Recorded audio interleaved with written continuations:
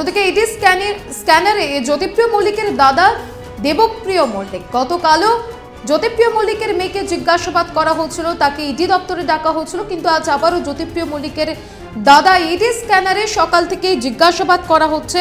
সকাল দশটায় তাকে হাজিরা দেওয়ার জন্য তলব করা হয়েছিল নথি সহ ইডি দপ্তরে হাজির বর্তমান বনমন্ত্রীর দাদা দেবপ্রিয় মল্লিকের।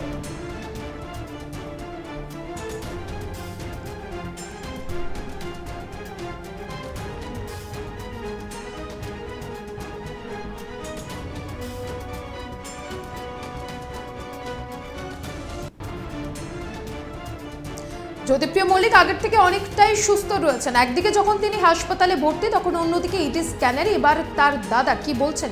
শুনুন। কাল এদের অফিস বন্ধ ছিল।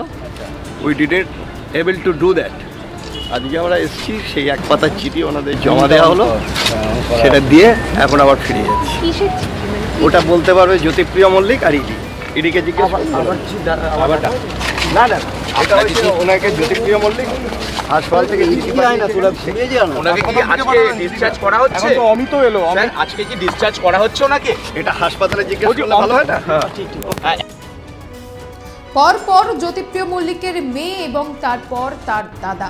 আজ সকাল দশটা থেকে জিজ্ঞাসাবাদ শুরু হচ্ছে। আবারও ইডি স্ক্যানারে জ্যোতিপ্রিয় মল্লিকের দাদা দেবপ্রিয় মল্লিক আর এই গোটা বিষয়টা নিয়ে বিস্তারিত জানব নিউজরুম থেকে প্রতিনিধি সাধনা মিস্ত্রি রয়েছে। সাধনা, একদিকে হাসপাতালে ভর্তি জ্যোতিপ্রিয় মল্লিক, অন্যদিকে তার বাড়ির লোককে একের পর এক তলব।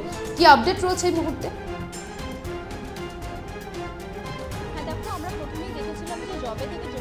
মল্লিক গ্রেফতার হয়েছে, তারপর থেকেই কিন্তু তার পরিবারের সদস্যরা ইডি স্ক্যানারে ছিল।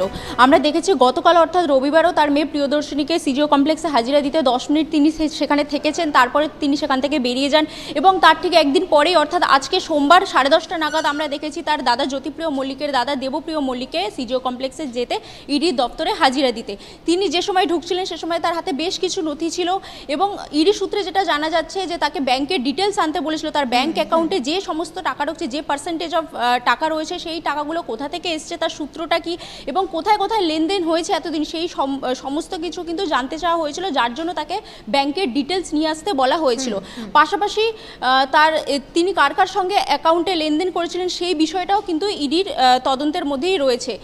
পাশাপাশি আমরা যেটা দেখেছিলাম যে তার হাতে একটা চিঠি ছিল সেই চিঠির ব্যাপারে যখন তাকে জিজ্ঞেস করা হয় তিনি সাংবাদিকদের মুখোমুখি হয়ে সেখানে তিনি এক ঘণ্টা থাকেন ইডি দপ্তরে এবং বেরিয়ে আসার পর সাংবাদিকদের মুখোমুখি হয়ে তিনি বলেন যে এই চিঠিটা গতকাল অফিস বন্ধ থাকার কারণে তাকে আজকে এই চিঠিটা জমা দিতে আসার জন্য তাকে আসতে হয়েছে এখানে। এবং সেই চিঠির সম্পর্কে তার কাছে জানতে চাওয়া হলে তিনি বারবার একটা কথাই বলেন যে এই চিঠির সম্পর্কে জ্যোতিপ্রিয়বাবু এবং ইডিরাই বলতে পারবে তিনি এই বিষয়ে কিছু জানেন না এটা পুরোপুরি জ্যোতিপ্রিয় চিঠি। একেবারে একেবারে। ধন্যবাদ সাধনা। একদিকে জ্যোতিপ্রিয় মল্লিক তিনি অসুস্থ হাসপাতালে রয়েছেন। অন্যদিকে তার দাদা দেবপ্রিয় মল্লিক তিনি ইডি স্ক্যানারে এর আগেও আমরা দেখেছি জ্যোতিপ্রিয় মল্লিকের বাড়ির লোক, তার পরিবারের প্রত্যেকের ব্যাংক অ্যাকাউন্ট চাওয়া হচ্ছে, সমস্ত নথি, সমস্ত ডিটেলস চাওয়া হচ্ছে। তবে এবার জ্যোতিপ্রিয় মল্লিকের দাদা, তার ব্যাংক অ্যাকাউন্টের ডিটেলস সমস্ত ট্রানজ্যাকশন ডিটেলস সমস্ত কিছু চাওয়া হচ্ছে এবং সেই কারণেই আজ ইডির তলব এবং সকাল থেকেই ইডি দপ্তরে তিনি রয়েছেন, জিজ্ঞাসাবাদ চলছে। সকাল দশটায় তার হাজিরা দেওয়ার নির্দেশ ছিল, সেই মতোই সকাল দশটায় পৌঁছেছেন দেবপ্রিয় মল্লিক। এখনও জিজ্ঞাসাবাদ চলছে এবং ঠিক কতক্ষণ জিজ্ঞাসাবাদ চলে সেদিকেই নজর থাকবে সকলে